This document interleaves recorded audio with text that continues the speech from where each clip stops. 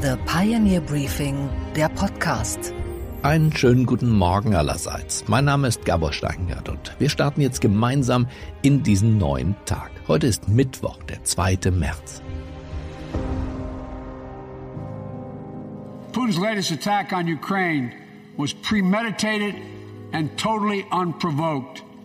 He rejected repeated, repeated efforts at diplomacy.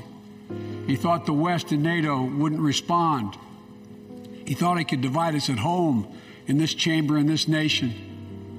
He thought he could divide us in Europe as well. But Putin was wrong. We are ready. We are united, and that's what we did. We stayed united. Das war nicht die Rede, die der ukrainische Präsident in Kiew sich von seinem amerikanischen Kollegen erhofft hatte. Joe Biden lieferte in seiner State of the Union moralische Unterstützung, aber eben kein Zentimeter mehr. Putin werde einen Preis zahlen, sagte er. Der Westen sei geschlossen, sagte er. Putin werde auf eine Wand der Einigkeit treffen. Der Mann im Kreml sei isoliert. Department of Justice is assembling a dedicated task force to go after the crimes of the Russian oligarchs. We're joining with European allies to find and seize their yachts, their luxury apartments, their private jets. We're coming for you, ill begotten gains. And tonight, I'm announcing that we will join our allies in closing off American airspace to all Russian flights, further isolating Russia and adding additional squeeze on their economy. Und natürlich verneigte er sich vor dem Widerstand des tapferen ukrainischen Volkes. Every Ukrainian, their fearlessness, their courage, their determination literally inspires the world. Groups of citizens blocking tanks with their bodies. Everyone from students to retirees to teachers turned soldiers defending their homeland.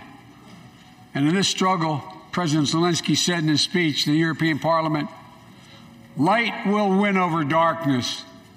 The Ukrainian ambassador to the United States is here tonight, sitting with the First Lady. Let each of us, if you're able to stand, stand and send an unmistakable signal to the world Aber nach dieser Erweckungsrede machte es Puff. Die USA werden russische Fluggesellschaften aus dem amerikanischen Luftraum verbannen. Das war's. Keine militärische Unterstützung für die Ukraine, keine weiteren Sanktionen, kein Verzicht auch auf russische Lieferung von Gas und Öl nach Amerika und Westeuropa. Putin ist isoliert, aber sein zentrales Geschäftsmodell, der Verkauf von Energie, kann er aus dieser Isolation heraus weiter betreiben.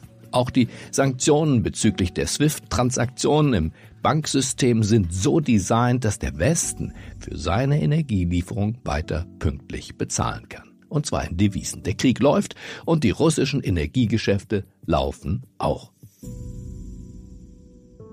Biden ist nun mal der Präsident, der die ausländischen Kriege der US-Armee beenden möchte und nicht neue beginnen. Die Schmach von Kabul wirkt bei ihm nach. Kiew darf kein zweites Kabul werden. Das war im Grunde die tiefere Botschaft. Biden bereitete seine Landsleute auf schwierige Nachrichten aus Osteuropa vor. Putin may circle Kiev with tanks, but he'll never gain the hearts and souls of the Iranian people. He'll never, he'll never extinguish their love of freedom, and he will never, never weaken the resolve of the free world. Es war so gesehen keine positive Rede. Es war eine realistische Rede. Und deshalb war es eine bittere Rede. Die unbequeme Wahrheit ist diese, Putin ist isoliert, ja, und die Ukraine ist einsam. Der Westen ist geschlossen, ja, aber eben auch geschlossen dagegen, sich militärisch zu engagieren. Der Westen schaut zu, wie die russische Python ihr ukrainisches Opfer erdrückt. Biden sprach als Schlangenbeschwörer, aber er berührte das Biest nicht. Die Rede ist das eine, ihre politische Interpretation das andere. Und damit nach Washington zu Peter Ross Range. Peter ist ein White House Reporter, wie er im Buche steht. Früher war er übrigens auch Deutschland-Korrespondent für Time Magazine. Good morning, Peter. Good morning, Gabor, from a tense Washington where everyone is focused on events in Europe. Joe Biden gave a speech about the war in Ukraine and he wanted to present himself as a strong leader, of course. Was he successful with that? I think he succeeded, Gabor. Biden was very hard on Vladimir Putin, accusing him of trying to shake the foundations of the free world. Uh, President Biden also took credit for building a wall of strength among the allies, which is the main thing that uh, Americans have noticed about him in recent weeks. And even in the domestic part of his speech, Biden projected a kind of energy and urgency uh, that carried his audience with him, hardly allowing interruptions or catcalls from the Republican side, uh, Biden used his whispering style and his shouting style. The combination uh, worked, I think, uh, overcoming his occasional verbal stumbles and projecting, uh, indeed, a reinvigorated leader. After all the rhetoric of the last few days, does diplomacy with Russia, Peter, still have a chance, or do you think that door is closed now? Well, Biden said that Putin had rejected every effort at diplomacy and is the only one to blame for their failure. Just hours before the speech, uh, in addition, Secretary of State Blinken moved to have Russia taken off the United Nations Human Rights Council, yet another signal that the diplomatic path may now be closed. Thank you, Peter, to Washington. Thank you, Gabor. Have a good day in Berlin. Und nach dieser Bewertung von Peter Ross Range begrüße ich bei mir im Studio Gordon Repinski, um mit ihm zu sprechen über die schwierige Nacht in der Ukraine. Guten Morgen, Gordon. Guten Morgen, Gabo. Ein 60 Kilometer langer Konvoi von gepanzerten Fahrzeugen, Panzer, Artillerie. Mit diesen schrecklichen Bildern sind wir eingeschlafen. Was, Gordon, ist seither passiert? Gab es größere Kampfhandlungen heute Nacht rund um Kiew? Ja, Gabo, man muss sagen, es ist tatsächlich in der ganzen Ukraine, also auch rund um Kiew, in dieser Nacht eher ruhig geblieben. Es gab offenbar einen Beschuss der Stadt Schitomir mit russischen Marschflugkörpern. Schitomir liegt 140 Kilometer westlich von Kiew. Die Stadt hat 270.000 Einwohner. Bei diesem Angriff sind Wohngebäude und ein Krankenhaus getroffen worden. Das ukrainische Innenministerium spricht von vier Toten, die es bei dieser Attacke gab. Und auch in Charkiw waren vereinzelt wieder Explosionen zu hören. Aber wie gesagt, im Vergleich zu den Nächten davor muss man wohl mit Blick auf diesen langen Militärkonvoi Richtung Kiew von einer Art Ruhe vor dem Sturm sprechen. Was sonst noch, Gordon, ist in dieser Nacht passiert? Unsere Bundesaußenministerin hatte ja ihren Auftritt vor der UN-Hauptversammlung in New York. Ja, exakte. Annalena Baerbock war in New York und da hat sie die internationale Staatengemeinschaft aufgefordert, den russischen Angriff auf die Ukraine geschlossen zu verurteilen. Russland habe die internationale Friedensordnung brutal angegriffen, sagte sie. Deswegen geht es bei diesem Krieg nicht nur um die Ukraine, nicht nur um Europa, sondern um uns alle. Russlands Krieg markiere den Beginn einer neuen Ära. Es sei ein Wendepunkt, sagte sie auf Englisch. Wir wachen in einer neuen Realität auf und niemand hat diese Wirklichkeit gewählt. Diese Realität hat uns Präsident Putin aufgezwungen. Der Krieg von Russland ist ein Aggressionskrieg und er beruht auf Lügen. Aber warum muss sie eigentlich so eindringlich reden? Ist das nicht alles auch für die anderen Staaten selbstverständlich? Ja, leider nein, Gabor. Indien und China, um nur zwei Beispiele zu nennen, haben ja bisher im Weltsicherheitsrat die Invasion Putins nicht einmal verurteilt, sondern sich eben nur enthalten. Und Gabor, lass uns noch einmal auf die anderen Geschehnisse schauen. Der internationale UN-Gerichtshof wird bereits in der kommenden Woche die Klage der Ukraine gegen Russland verhandeln. Das teilte das Gericht gestern in Den Haag mit. Vielen Dank, Gordon, für dieses morgendliche Update unsere weiteren Themen heute Morgen. Mit Werner Baumann, dem Vorstandschef der Bayer AG, spreche ich über den Krieg in der Ukraine, die Herausforderungen für den Konzern und die globalen Folgen für die Welternährung. Weil die Ukraine und Russland zusammen etwa 28 Prozent der globalen Soja- und Maisversorgung stellen. Und sollte die Ukraine als Lieferant ausfallen, werden wir vor allen Dingen massive Versorgungsengpässe in Nordafrika und im Nahen Osten sehen. Außerdem unsere Börsenreporterinnen Anne Schwedt und Annette Weißbach sprechen über den Ölpreis und erstaunliche Gedankenspiele in Sachen Atomkraft. Außerdem der erfolgreichste Saubermann des Rock'n'Roll kommt langsam ins Rentenalter.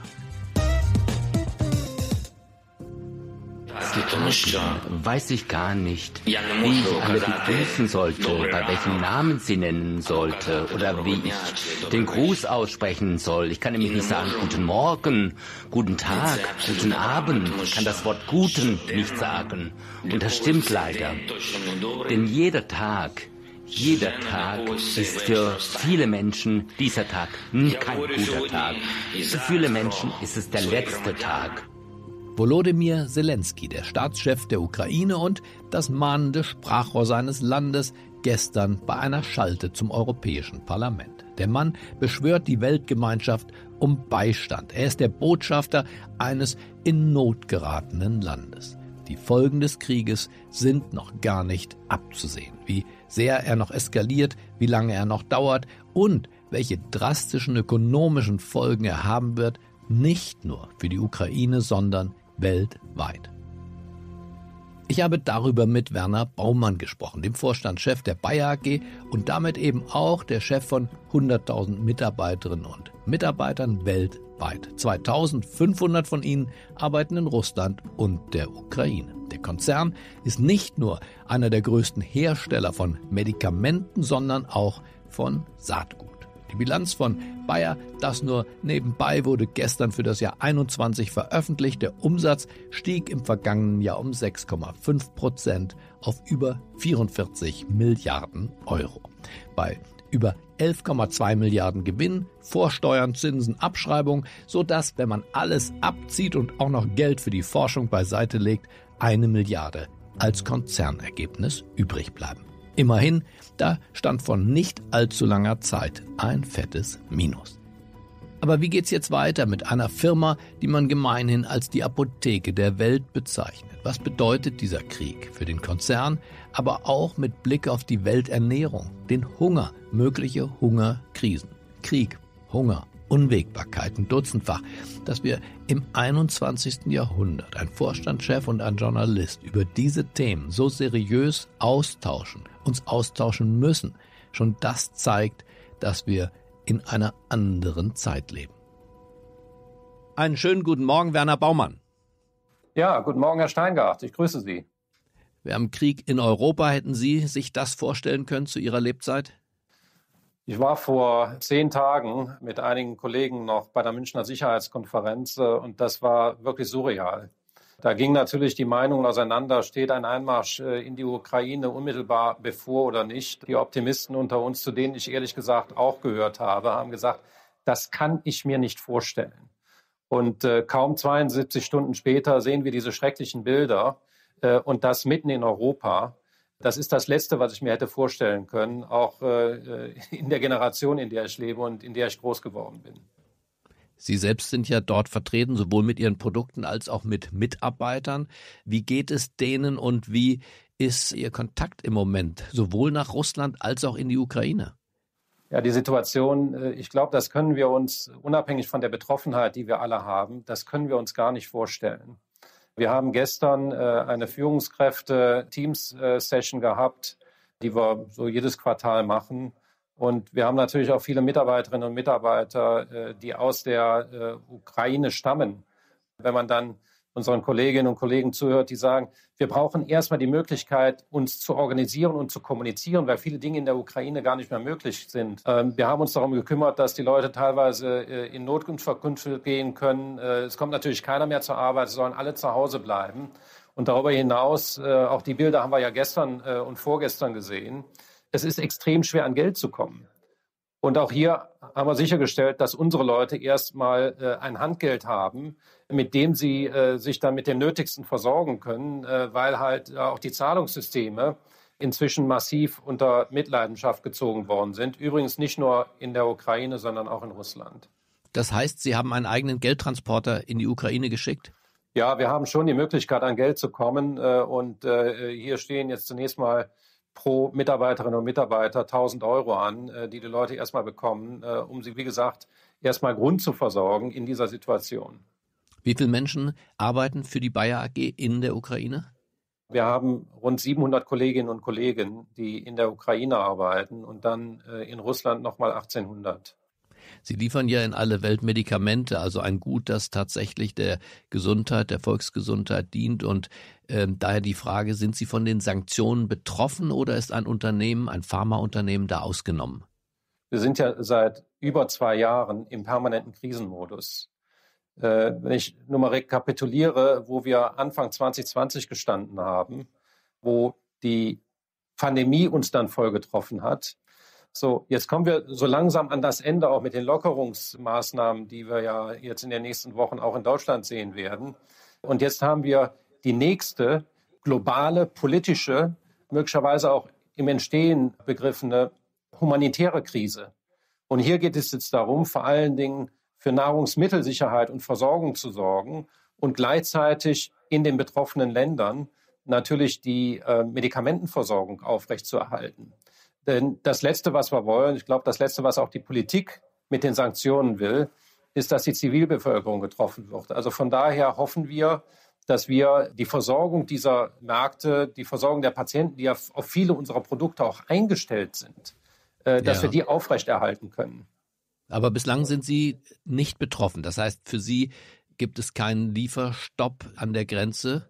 Äh, wir sind bislang nicht betroffen. Wir haben natürlich äh, auch zugesehen, dass wir eine gewisse äh, Grundbevorratung für diese ganz wichtigen Produkte äh, in der Ukraine und auch in Russland haben.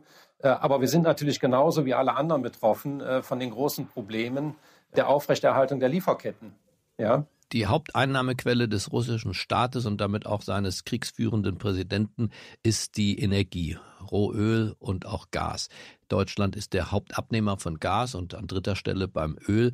Was denken Sie, hätte man das und sollte man das in einer nächsten Runde unsere Energiebeziehungen mit einbeziehen in ein Sanktionsregime? Für unseren Teil kann ich Ihnen sagen, dass wir natürlich auch darauf angewiesen sind, Zugang zu Energien zu haben, damit wir unsere Produktion hier vor allen Dingen in Deutschland zunächst mal aufrechterhalten können, äh, wo Stichwort Apotheke der Welt äh, auch für unser Unternehmen der ganz überwiegende Teil der weltweit verkauften Wirkstoffe nach wie vor hergestellt wird. Und wir haben unsererseits entsprechende Sicherungsstrategien inzwischen aktiviert. Und wir sind natürlich auch nicht mehr so energieintensiv wie viele chemische Unternehmen, weil wir halt inzwischen ein anderes Geschäftsportfolio haben. Das heißt, wie hoch ist Ihre Energieabhängigkeit und wenn es tatsächlich zu einem Energieboykott der russischen Energielieferung käme, würden dann äh, bei Ihnen in den Werken die Lichter ausgehen, Herr Baumann? Unser Geschäft hat ja eine Größe von rund 44 Milliarden. Das ist ja das, was wir gerade bekannt gegeben haben für das Jahr 21. Wenn wir unsere Energiebezüge im Verhältnis zu dieser, dieser Geschäftsgröße sehen, haben wir eine Kostenposition von etwa einer halben Milliarde Euro. Ja, wir haben äh, in den letzten anderthalb, zwei, drei Jahren auch sehr stark investiert äh, in nachhaltige Energiebezüge, das heißt also aus Renewables. Das heißt, ein Viertel unseres Energiebedarfs kommt aus Renewables. Also insofern ist das natürlich schon mal grundsätzlich ohnehin eine gute Sache. Aber jetzt, was die Versorgungssicherheit mit Energie angeht, nochmals von deutlich höherer Relevanz. Und darüber hinaus äh, sind unsere Einkäufer dabei, Energiequellen für unsere Energiebezüge zu sichern. Wichtig ist hierbei auch, dass vor allen Dingen in der Medikamentenproduktion ein Energieausfall beispielsweise in Wuppertal für uns bedeutet, dass die Versorgung der Welt mit Medikamenten von Bayer massiv getroffen wäre, weil wir den ganz überwiegenden Teil unserer Medikamente in Wuppertal herstellen. Und insofern wird es da sicherlich auch ein Regime geben, wenn es darum geht, äh, sehr kritische Produktionen im Verhältnis zu weniger kritischen Produktionen zu priorisieren. Das ist auf jeden Fall das, was ich erwarte. Sie haben einen tja, muss man sagen, eine veritable Bilanz vorgelegt für 2021. Die Frage ist, wie geht's weiter? Oder sagen Sie, ein solcher Konzern ist heute so resilient aufgestellt, dass er nach einer Pandemie auch mit einem Krieg umgehen kann, ohne dass es zu Entlassungen, ohne dass es zu Gewinn- und Umsatzverlusten kommen wird? Nun, es ist natürlich so, dass wir äh, nach einem guten Jahr 2021, Sie hatten es ja gerade auch noch mal erwähnt, Herr Steingart, äh, zunächst mal doch mit einem gewissen operativen Optimismus auf das Jahr 2022 geschaut haben Wir sehen äh, Märkte in guter Verfassung. Äh, wir sehen natürlich inflationsbedingte Kostenanstiege, die wir bestmöglich versuchen zu mitigieren, teilweise auch in unseren Preisen weiterzugeben. Wir erwarten eigentlich ein sehr, sehr gutes Jahr 2022. Allerdings sind die Effekte aus diesen kriegerischen Handlungen in der Ukraine und in Russland da natürlich nicht eingepreist. Ja. Das heißt, Sie haben Ihren Forecast gemacht, erstmal sozusagen minus der aktuellen politischen, militärischen Entwicklung. Ja, ohne, ohne Berücksichtigung dieser Entwicklung. Und für uns geht es jetzt darum, diese Situation bestmöglich zu managen, bestmöglich zu mitigieren. Das betrifft einerseits natürlich unsere Belegschaft.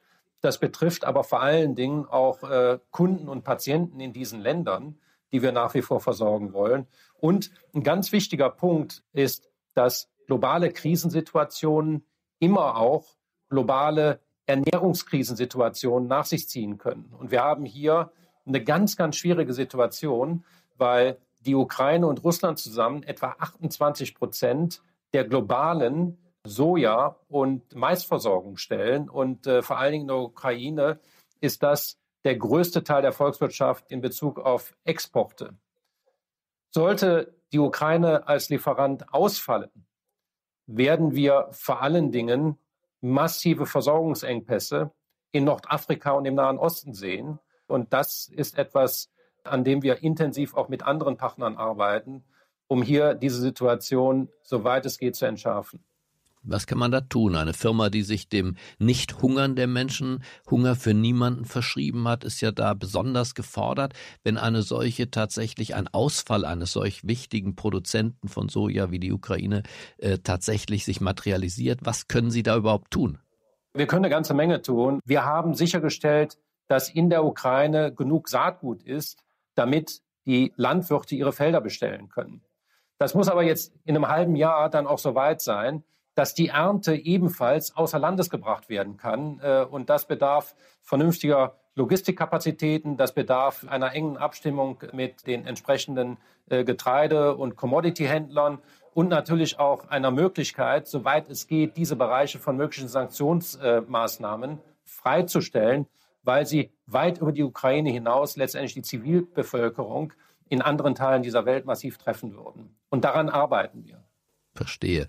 Ihr Geschäftsmodell ist ja normalerweise nicht Krisen bewältigen, schon gar nicht globale politisch verursachte Krisen, sondern Sie gucken im Bereich Pharma beispielsweise ja ein Stück weit in die Zukunft. Ich sehe in Ihrer Bilanz, dass Sie enorme Summen, ich meine fünf Milliarden Euro gelesen zu haben, pro Jahr investieren Sie in die Forschung. Was genau tun Sie mit diesem Geld und erwarten Sie, Herr Baumann, bei einer der großen Krankheiten, Herz-Kreislauf, Krebs beispielsweise, Durchbrüche, äh, Durchbrüche, die noch unser Leben verbessern könnten? In der Pharmaindustrie ist es ja nicht unser Geschäft, immer wieder die gleichen Krankheiten zu behandeln, sondern äh, Leute gesund zu machen. Das heißt, die Krankheit auszurotten doch eigentlich. Ja, das ist uns ja bei einigen Infektionskrankheiten ähm, sehr gut gelungen. Es gibt aber andere Krankheiten, die mit den heutigen Instrumenten oder mit den Instrumenten von, von, von vor fünf, sechs Jahren einfach nicht therapierbar waren und schon gar nicht heilbar waren. Und hier stehen wir wirklich am Beginn einer Zeitenwende. Durch die neuen biotechnologischen Verfahren gibt es Möglichkeiten, bestimmte Defekte im Erbgut von Menschen, die geboren werden, mit diesen Defekten möglicherweise zu heilen. Äh, wir kennen alle Familien, in denen Kinder leben, die unter Mukoviszidose leiden. Das ist eine ganz schreckliche Stoffwechselkrankheit, die einen einzigen Gendefekt als Ursache hat. Und heute kann man über Zell- und Gentherapieansätze letztendlich die ersten Methoden entwickeln, um nicht nur zu therapieren lebenslang, sondern wirklich möglicherweise zu heilen. Ein anderes Beispiel ist äh, beispielsweise die Bluterkrankheit, wo das bei sogenannten auf Einzelgendefekten basierenden Krankheiten heute schon möglich ist. Indem man in das Erbgut eingreift. Ist das der, der Weg? Ja, man greift in das Erbgut ein, äh, um den Fehler der Natur zu korrigieren und damit letztendlich vollkommene Gesundheit herzustellen. Wir sind in vielen Bereichen, was Forschung und Entwicklung angeht, dort aktiv. Es gibt die ersten Präparate, die bereits zugelassen sind. Äh, und wir arbeiten bereits im Menschen mit den ersten Patienten, die in dieser klinischen Studie bereits drin sind, an einem möglicherweise heilenden Ansatz für Parkinson. Das ist eine ganz schreckliche Krankheit, für die es seit 50 Jahren keine neuen Therapieansätze gibt, die dann äh, über die Degeneration des Körpers letztendlich immer zu einem ganz schrecklichen Tod führt. Und wir sind heute so weit, dass wir hier einen biotechnologischen Ansatz haben über eine Stammzellentherapie, die wir bereits äh, in den ersten Patienten erproben. Und äh, in der zweiten Jahreshälfte hoffen wir, die ersten frühen Ergebnisse aus dieser klinischen Studie zu sehen. Wie viel Zeit bleibt Ihnen als Vorstandsvorsitzender im Moment, sich um Ihr eigentliches Kerngeschäft im Agrarbereich, im Life Science Bereich, im Pharmabereich zu kümmern? Und wie viel Zeit bindet die aktuelle politische Situation für Sie? Ich denke, wir sind äh, wie immer äh, im Leben.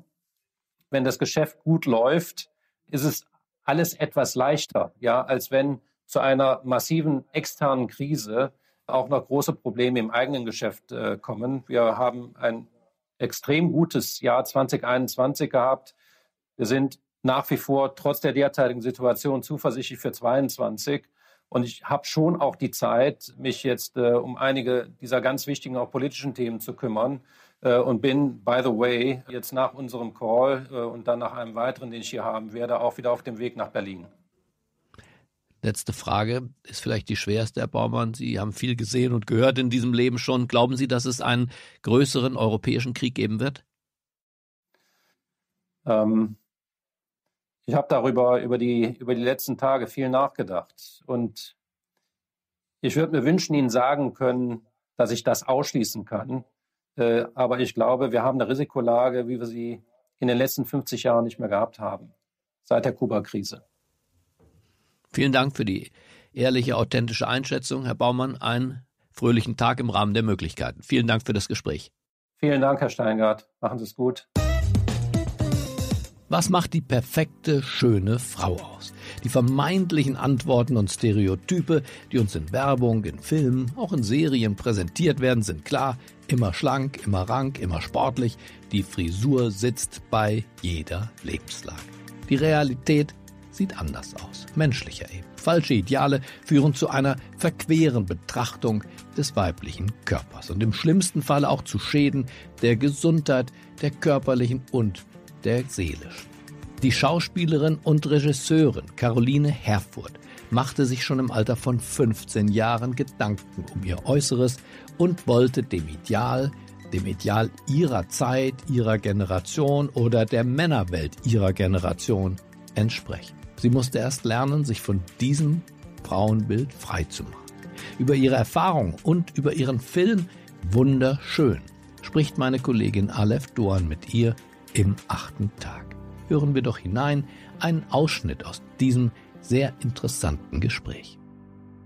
Ich bin sehr stark in dem Glauben aufgewachsen, etwas sein zu müssen, was von nicht von alleine so ist und dass ich einer äußeren. Was heißt, was nicht von alleine so ist? Naja, dass ich einer anderen Form entsprechen muss. Mhm. Ich habe mich einfach im Spiegel angucken, angefangen zu weinen mit 15. Also völlig. Ich war schon sehr geprägt von diesem Anspruch, ähm, einem Ideal entsprechen zu müssen oder bestimmte Körperform haben zu müssen oder dass das, was ich von mir aus habe, nicht ausreicht und dass es irgendwas da anders sein musste, dass man sich das runtertrainieren muss, runterhungern muss, was auch immer. Also all diese Themen haben mich extrem begleitet, also wirklich, also spätestens mit 13, 14 ähm, hat das, das, angefangen. Hat es ja, hat es angefangen und war das wirklich ein wichtiges und großes Thema in meiner Jugend und hat mich wahnsinnig abgelenkt von anderen Dingen, äh, die ich äh, hätte machen können und hat sehr viel Zeit und Kraft äh, absorbiert.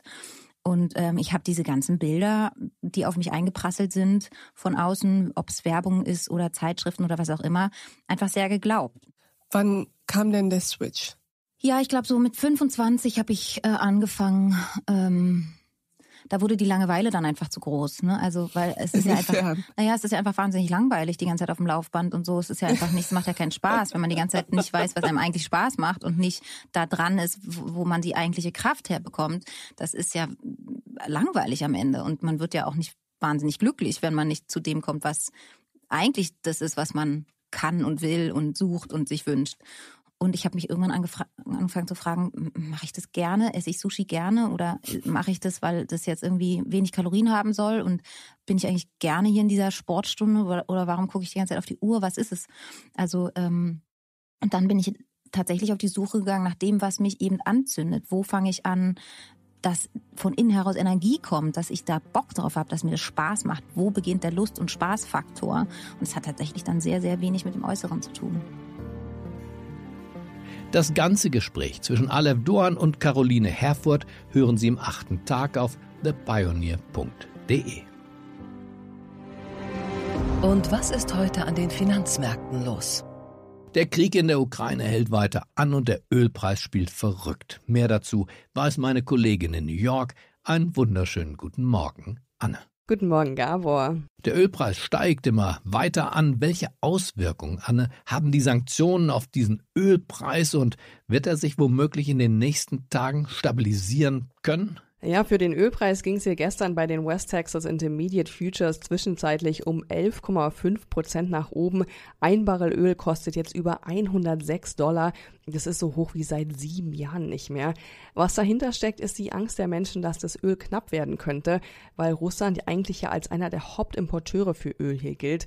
Und um da jetzt unabhängiger von Russland zu werden und gegen diesen Preisanstieg anzukämpfen, hat die internationale Gemeinschaft beschlossen, 60 Barrel ihrer Ölreserven freizugeben. 30 davon sollen aus den USA kommen. Das sind ungefähr 4 Prozent der Ölreserven. Aber um das mal ins Verhältnis zu setzen, ist es trotzdem eigentlich echt gar nichts. Analysten hier sprechen schon eher von einem Tropfen auf dem heißen Stein. Russland produziert diese Menge an Öl in sechs Tagen. Das ist ja also eher eine kurzfristige Lösung. Analysten von Morgan Stanley haben ihre Preisvorhersage für Öl auch für die nächsten Monate schon angehoben. Die erwarten, wenn sich der Konflikt in der Ukraine nicht bald löst, Ölpreise von bis zu 125 Dollar. Und auch die Amerikaner hier an der Tankstelle bemerken den Preisanstieg schon. Das Benzin ist im Vergleich zum Vormonat um 24 Cent teurer geworden. Also mit einer schnellen Preiserholung rechnet hier an der Wall Street erstmal keiner so richtig. Vielen Dank, Anne, für diesen Einblick. Und wir schalten jetzt nach Frankfurt zu unserer gemeinsamen Kollegin Annette Weißbach. Einen schönen guten Morgen, Annette. Guten Morgen, Gabor.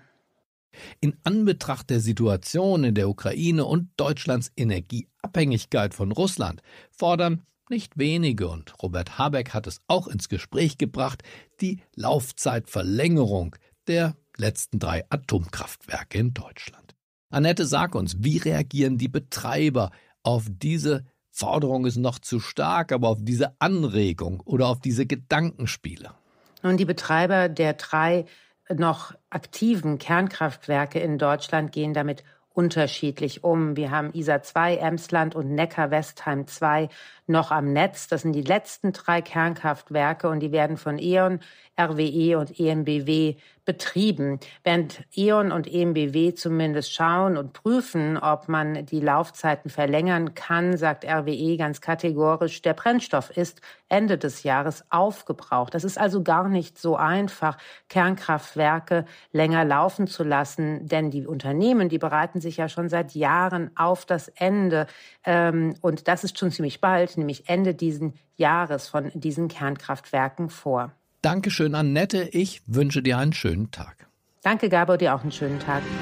Okay, Gabor. Und was hat dich heute Morgen wirklich überrascht? Na, dass die Ukraine jetzt kreativ wird in dieser Krise und versucht, Russland mit wirklich außergewöhnlichen Waffen zu schlagen. Gewalt ist eben, wir wissen es, nicht die beste Lösung und das weiß offenbar auch der ukrainische Verteidigungsminister Resnikow. Er macht jetzt den russischen Soldaten ein ungewöhnliches Angebot. Das Angebot nämlich zu desertieren. Stell dir vor, es ist Krieg und du gehst nicht mehr hin. Trefft eure Wahl.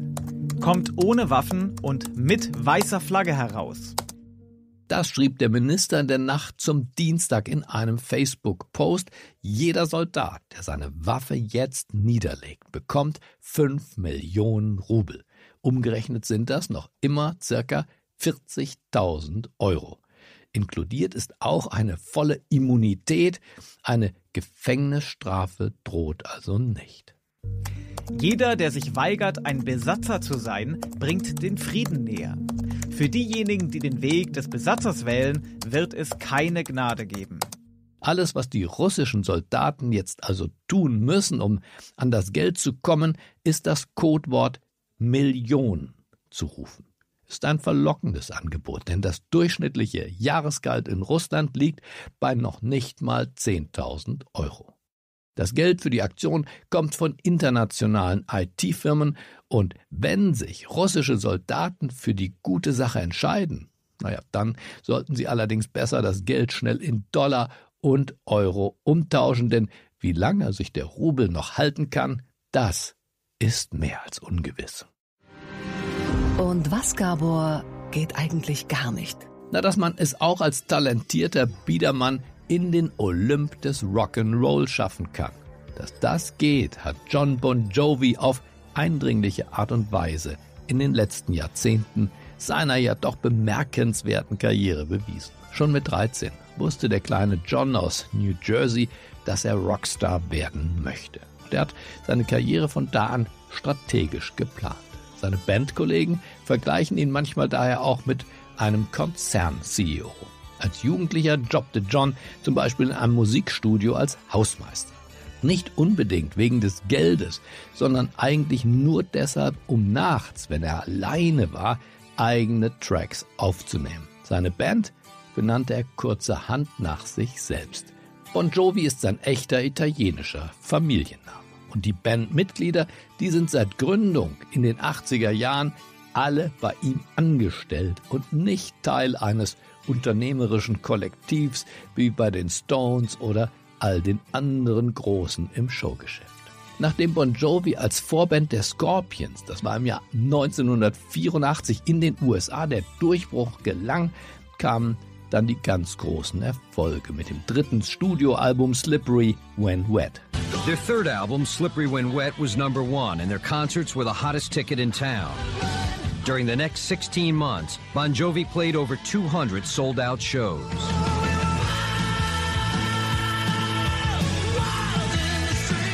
We used to go, we are Bon Jovi, we live nowhere, we play everywhere. Da möchte man doch denken, los geht's mit der Party, den Groupies und den Drogen.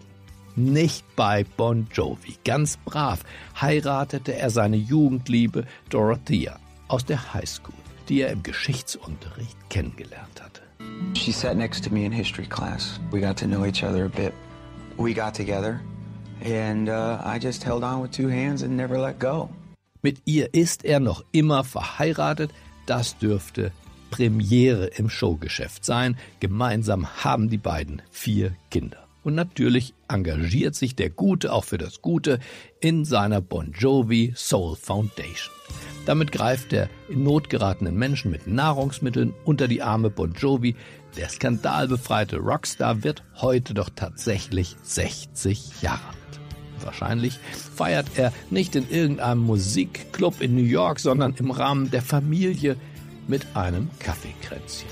Ach so, einige Abgründe hat er dann doch einmal in einem Interview zugestanden. Er habe wegen der Tourneen schon jede Menge Geburtstage und Schulaufführungen seiner Kinder verpasst. Du lieber Himmel, das